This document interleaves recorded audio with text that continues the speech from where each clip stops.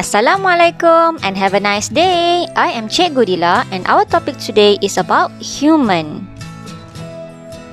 This is topic for Science Year 4, Unit 2. Human breathing process. As human, we need to breathe to stay alive. Can't you imagine what happens if we hold our breath for a few minutes? okay, don't do it. We might die. Next, breathing organs of humans. The breathing organs of humans are nose, trachea, and lungs. This is the main breathing organs of human. We need it. We use it for breathing. Inhalations. During inhalations, air is taken in through the nose, down to the trachea, into the lungs. The lungs will expand and the chest rises outward. The air contains more oxygen. That means the air we inhale contains more oxygen. What happens during inhalations? Our lungs expand and our chest rises outward. Our lung and diaphragm move downward. Next, we move to the content of oxygen and carbon dioxide during inhalation. Inhaled air contains more oxygen compared to the exhaled air.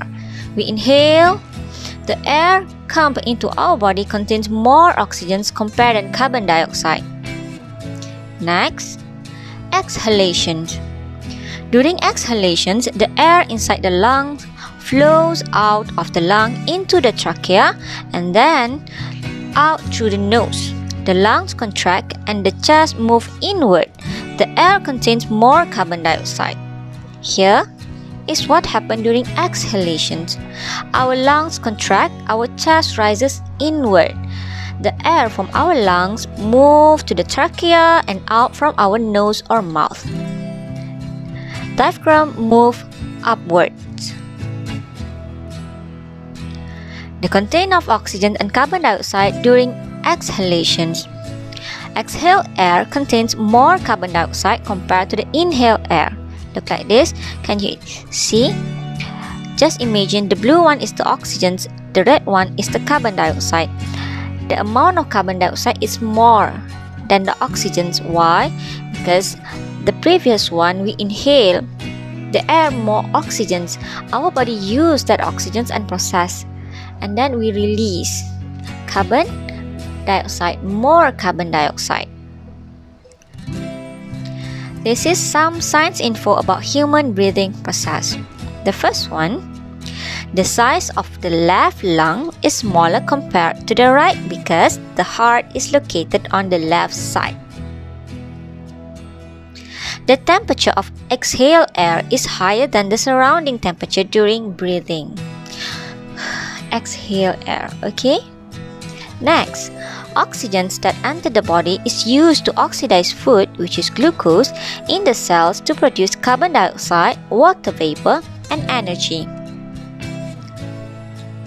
Carbon dioxide and water exit the body through the nose during exhalation process. Next we move to the rate of breathing. Rate of breathing is the number of chest movement up and down in 1 minute. Here are some of the factors that affect the rate of breathing. First, emotions, type of activities, age, altitude, and weather. We move to the first one, factors that affect the rate of breathing, which is type of activities. When we are resting, our rate of breathing lower. When we are exercising or being active, our rate of breathing is higher. When we exercise, our body needs more oxygen, so we breathe faster. This is some of example activities with high breathing rates, such as running, playing football, swimming, and this is the examples of activities with low breathing rates, such as reading, sleeping, watching television. So that is low breathing rate. We are sitting down, relax. Next, The second factors that affect the rate of breathing, which is emotion. When a person is frightened, nervous, or anxious, his rate of breathing is higher than when we or he is calm. So, this is the example of emotions with high breathing rate, such as when we are frightened, we are angry with someone, or when we feel nervous or get shocked. Next, factor that affect the rate of breathing, which is emotion. That one, high breathing rate. This one is low breathing rate. When we are calm, when we are sad, we're not doing anything. So that time our breathing rates are lower. Next, factor that affect the rate of breathing, which is age. Infants and children have higher rate of breathing than adults. Why? Because their lungs have smaller capacity compared to adults.